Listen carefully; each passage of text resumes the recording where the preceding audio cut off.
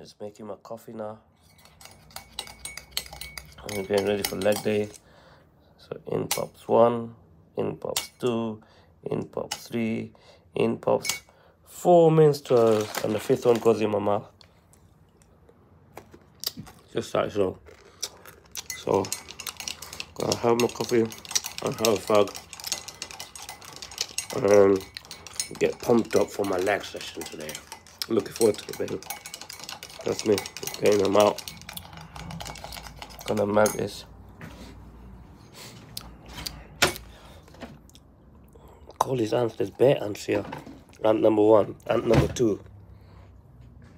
That's Andrew Tate and that's Tristan Tate escaping from prison. Look.